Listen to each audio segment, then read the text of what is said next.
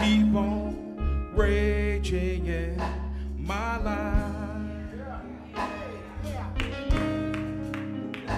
And sometimes it's hard to tell the night from day. Still, the hope that lies within is reassured.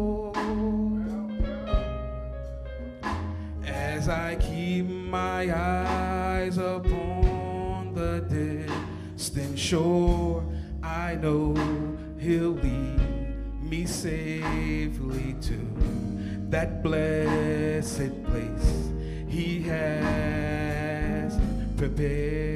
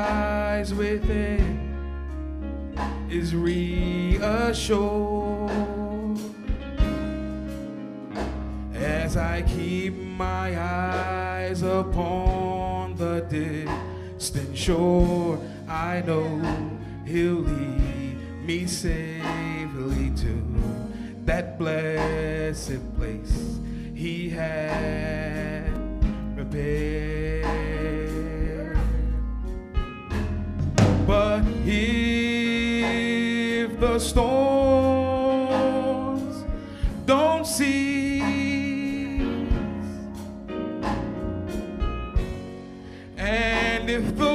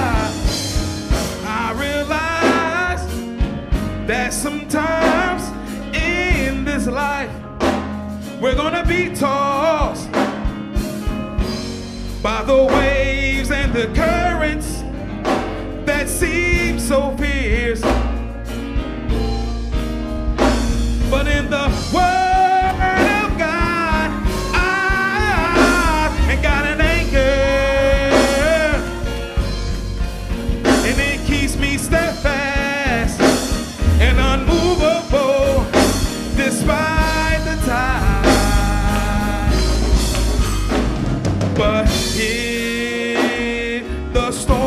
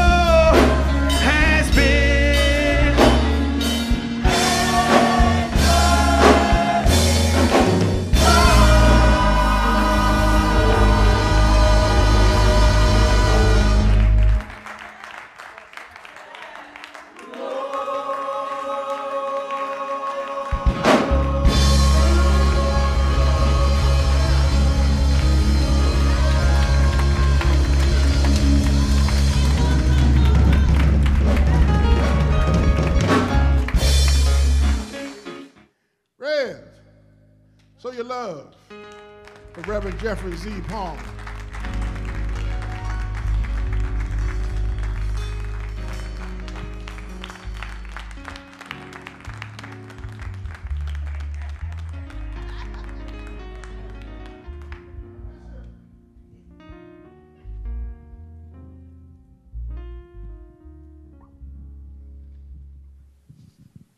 I'm blessed to be here. To see another year. And my pastor giving me this privilege to speak this word. Reverend Miller, I love you. Never see or heard from you too much. We're still in my prayers, and I know you're praying for me. I just couldn't believe when I came to Sunday school, our pastor was all up in my stuff. and I just couldn't help on telling him when he got finished how he was all in my message. And Sister Johnson, I told her I couldn't hold it to myself. I had an encounter with God in a bowling alley. Can you believe?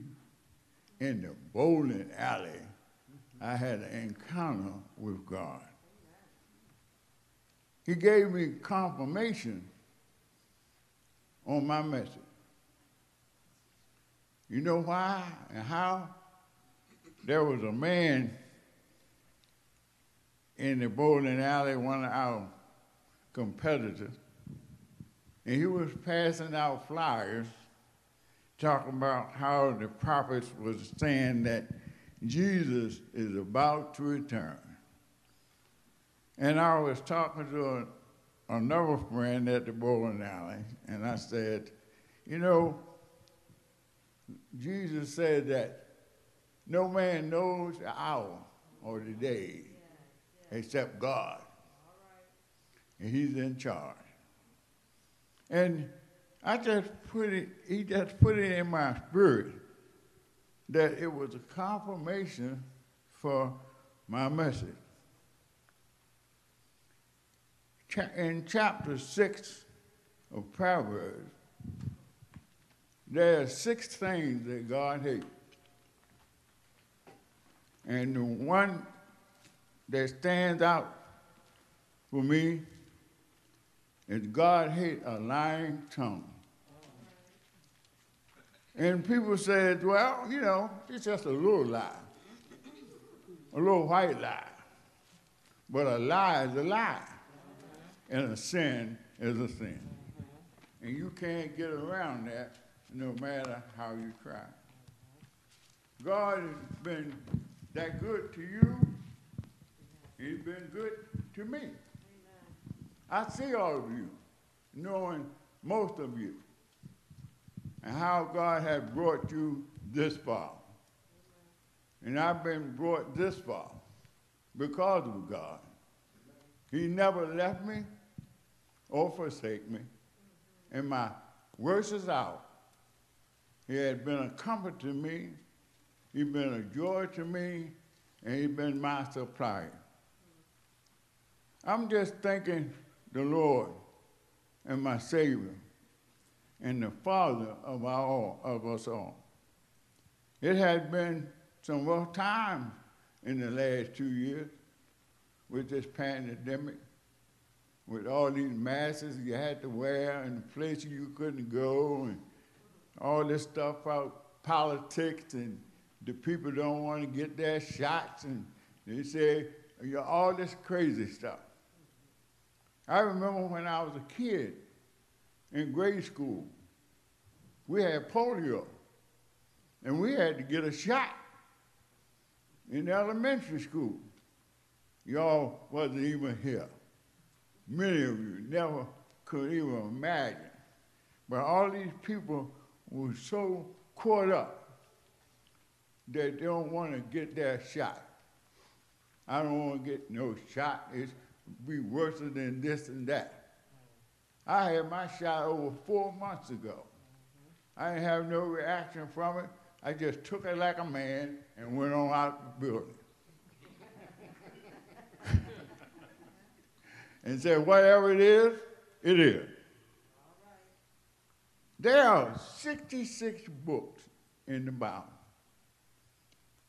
39 and 27. 39 in the Old Testament and 29 and 27 in the New. But the statement that I'm about to bring is about the love of God. And if you would, take your Bible, because I'm still old school. And the Word was made flesh and dwelt among us. And we beheld his glory, the glory of the glory of the only begotten of the Father, full of grace and truth. Go to the 14th chapter of John. In the sixth verse, Jesus said unto him, I am the way, the truth, and the life. No man cometh unto me, no man cometh unto me except by the Father. Amen? And I want you to go to another scripture in Romans 10, Romans 10th chapter, and it reads, But what saith it? The word is nigh thee, even in thy mouth and in thine heart. that is the word of faith, which is which we preach, that if thou shalt confess with thy mouth the Lord Jesus, and shall believe in thine heart that God has raised him from the dead, thou shalt be saved. For with the heart man believeth unto righteousness, and with the mouth confess, on, confession is made unto salvation. Amen? Amen. What I'm about to state in my message, facing the truth. Facing the truth. God has been good to all of us. Blessing upon blessing. The disciples and the world that was before didn't have this book, didn't have nothing to read, but they heard from God. And God is a truth God. The Bible, the dictionary says that it's a fact that it's true. And you can believe it no matter what. This, these, uh, sorry, Deacon Hawkins was teaching Sunday school, and he made a statement. Every perfect, perfect good and comes from God, from above. Rell made a statement when he was teaching on the wealth. And he said, My people perish for the lack of knowledge. And this is what we all do. We come short of the glory of God. We always saying, I don't have no sin. But the Bible says, if you say you have no sin, you're a liar, and the truth ain't in you. Yeah. And you can count it all in your mind and in your heart that you can say that you are innocent, but the world stands guilty before God. None of us can escape except through Jesus Christ. Right. Except that he gets his blood and you'll be getting to get born again. We're talking about salvation. We're talking about the love of God. We're talking about lying. We're talking about cheating. We're talking about stealing. And all of us have some shortcomings. 66 books, and I have not read them all. And I have not even understood them all. And sometimes I have a problem pronouncing the name of them all. But I was saying, I was talking to another member, and I was thinking about Reverend Johnson, Nathaniel. And he said, you know, all the prophets, all the people that God had put forth to do his will and to do his bidding, they had flaws too. They always had some flaws in their system. Because we all come short of the glory of God. People say, oh, you just making an excuse. No, we all come short of the glory of God. We can't even compete with one another because somebody gets envious and jealous and all these things in that system. Satan told Eve that we should never die. And he told her, well said, he only told her the whole, the half truth. You might live for 500 years, but you're going to surely die. Well, preach that message. No matter how long you live, you're going to surely die. But you ought to know where you're going when you surely die. It's been too much hell down here to go to any place other than heaven. And I don't know about you, but I've been through enough in 79 years. If I live to get another year older, I'll be a, a miracle walking because I don't even think so. I got many issues, but I've been blessed by God to overcome them. I believe that His word says, I will never leave you nor forsake you. I'll be your helper in the midst of the storm. I'll be your way maker. I'll be your go between because I love you that much. He loves us all that much, looking beyond our faults in spite of. And we all got faults. You say, oh, I, I don't have a whole, lot of issues. Oh, yes, you do.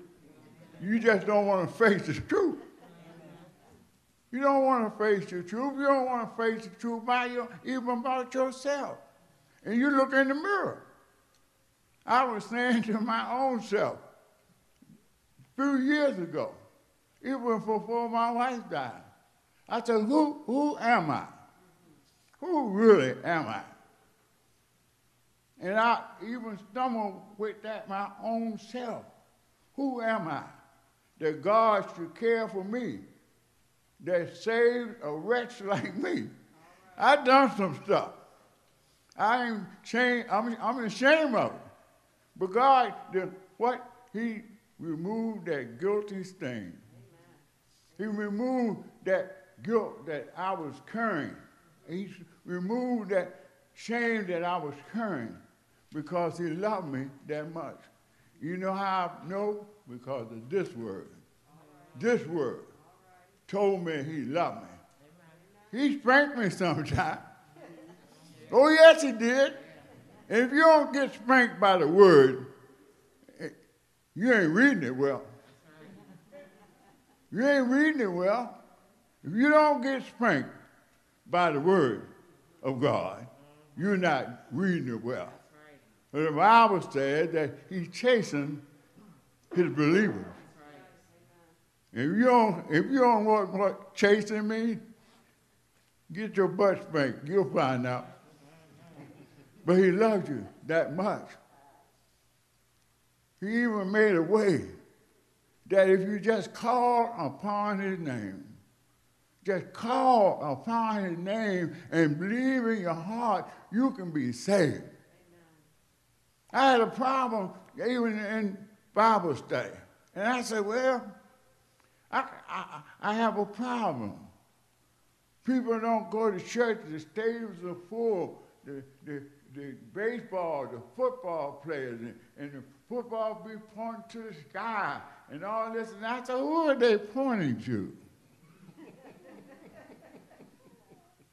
And people say, the man upstairs. I, I said, well, who is the man upstairs? Do you know his name? He got many names. But do you know his name? I believe in God, but I have trouble with Jesus. I said, what? You believe in God and you have trouble with Jesus? How can you be? How can you be that the Father, the Son, and the Holy Spirit are the same one, and you got a problem with Jesus? I got a problem with the church. Them hypocrites. I say the church is the hospital. That's why you need to come in here because you can't do it by yourself. You can care all you want. You, you can't do it by yourself. We are all sinners, saved by the grace of God, through his mercy, through his loving kindness, through his blood. We're saved. You're not going to go to heaven by yourself. And people say, oh, I, I just wish Jesus would come quickly. I say, no, don't, don't you say that. you don't know who's going to get cut off. God knows. He knows everything about this world. He knows everything about you. Even the word says he knows all the hairs on your head. He knows you're up, rising, and you're setting down. God knows. The word says, his praises shall continually be in my mouth because he's been that kind of God. I've talked to so many people in my Christian walk, and I haven't been walking in the light all the time. I've had some stumbling. I had some problems in my life, not just with people, but in my own self. Because I have not been that kind of preacher sometimes. We all make mistakes. We all got faults. And don't believe anybody said that they're perfect. Because there's none perfect but Christ. None perfect but the Father. But even when Jesus was told by his disciples that your mother wants you, he said, well, Who is my mother? Who is my father? Who is my brother? Except them that do the will of my Father. But who are you that God has let you live this long to see what you have been through this time in your life? And all of us have been through some tough time, or we're going to get some tough time. You're not going to escape. But God been that kind of God. He's been faithful. He's been honest. He's been true. God is not a liar that he to be a man. And God has no turning in shadow. They say there's no shadow of turning in him. He is faithful and just to forgive us for all our faults if we ask him. Some people don't want to ask him. I don't know why do you not want to ask Holy God and Jesus to forgive you for your sins that you can be saved. I don't need him. But who in the world don't need you? Who in the world don't need Jesus? I don't the, the money can't save you. And we say, and we have said it, and many people have said it, Good people don't go to heaven. Saved folks do. You could say, uh, uh, uh, his father used to say back in the day that dogs and cats don't have no sin, but they go to heaven. We don't know that either. Well, God gave these creatures that we could love and share with, uh, with them and they comfort us. People talk about, you always talking about your dog. I say, I ain't got nobody home but my dog. and I love him. Get down on the floor with him and all that stuff.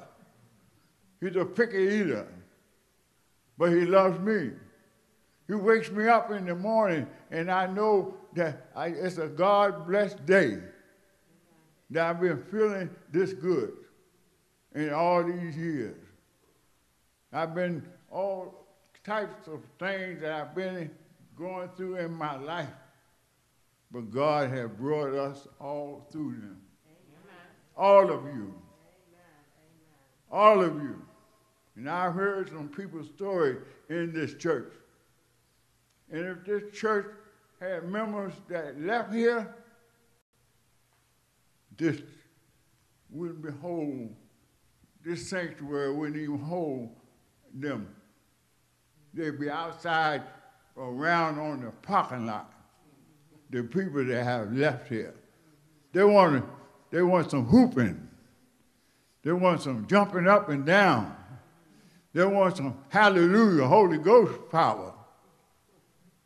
But you need the word of God. You need the strength of God. You need the hope of God. God gives us grace.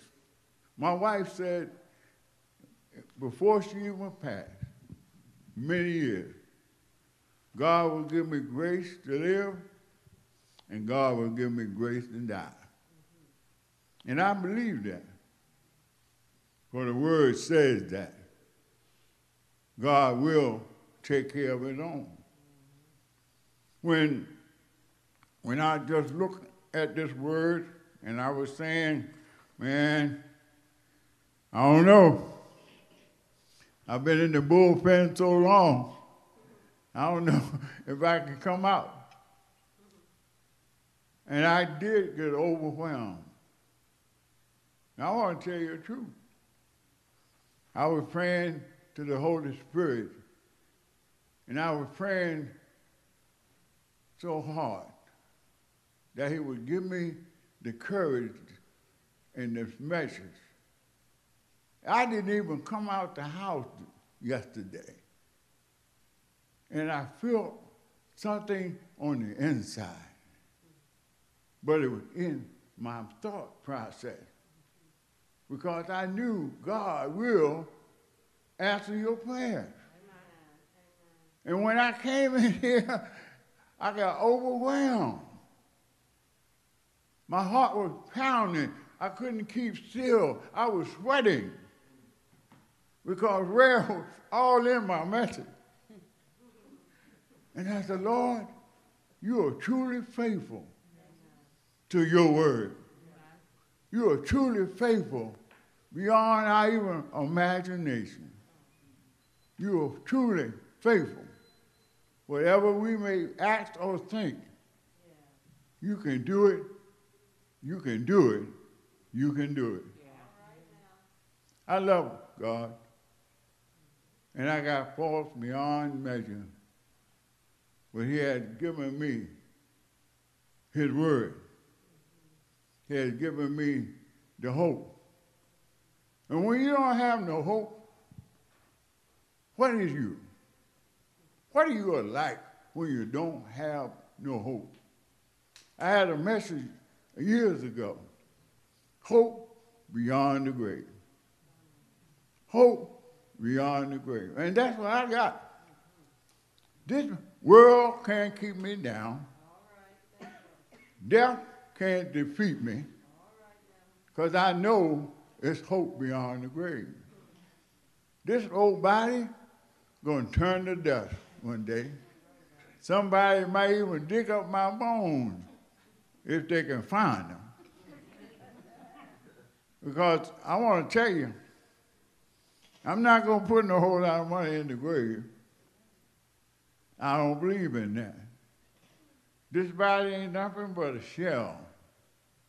And I can let somebody look over it and cremate it or whatever. I'll be on my way to glory before the furnace hit me. I guarantee you.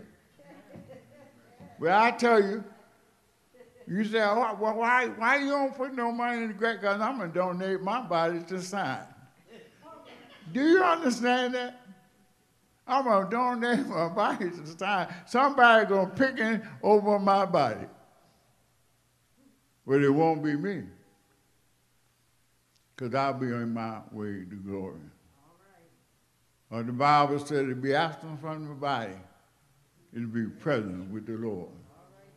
I got the hope from my, from my, my spirit man. For one of these days, I'll be with him. I'll see my loved one that confess Christ. Because the Bible says it's best to be in the first resurrection than the last. But when you're in the last resurrection, you're going to be somewhere around the throne of God. And you believe it? God got another side. People always talk about God is love, but God got another side. You just read it in Romans 12. Huh? Can you understand that you read it in Romans 12? God will repay. God will got wrath. God got another side, and you can't escape it. Huh? Amen, Reverend Paul. Amen, Reverend You can't escape. Even, even, even Paul said, if we neglect so, so great a salvation, how can we escape? Even Paul says that. And even Rev said Paul had, was, a, was a persecutor of the church. He was a serious, serious killer. And God saved him to do his work, to do his bidding, to leave us his word. Who can love us this much? And he said in his word, God so loved the world that he gave his only begotten Son. And whoever believes in him shall not perish, but ever, ever have eternal life. God is a good God. And I'm not ashamed Oh, of his gospel. I'm not ashamed. And I would want to tell it everywhere I go. Everywhere I go. Well, one of these days, I'll be going home. One of these days, you won't see me no more. But I appreciate my members and friends that have known me that will not forget me. For I love you and I care for you and I pray for you. But even when I'm down, I'm up. And sometimes when I think I'm up, I'm down. But God still is faithful yeah. and just yeah. and loves all of you like a, he does me. Well, I was saying to myself, like Paul said, O wretched man, who shall deliver me from this bondage of flesh? O wretched man. But God says, I love you in spite of. God bless you.